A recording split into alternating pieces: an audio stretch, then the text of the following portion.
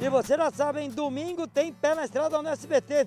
Nesse domingo, no programa, vocês vão ver com a gente. A obrigatoriedade do exame toxicológico passa a ser a cada dois anos e meio.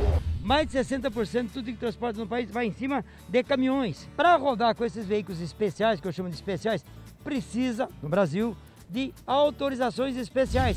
Isso e muito mais. Sete da manhã, domingo aqui no SBT, tem pé na estrada. Vamos fazer astros? Bora!